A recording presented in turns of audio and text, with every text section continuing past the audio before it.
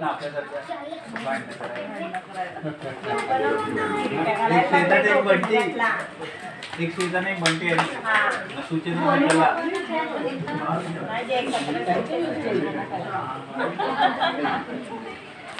त्यांचं भांडण नाही त्यांचं प्रेम. त्यांचं भांडण नाही.